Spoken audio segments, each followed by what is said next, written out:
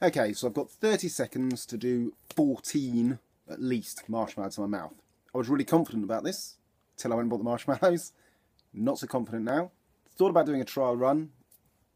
I'll be sick if I eat 28 marshmallows, let's be honest about it. So, number one, and I'll start the timer. Let's see how it goes.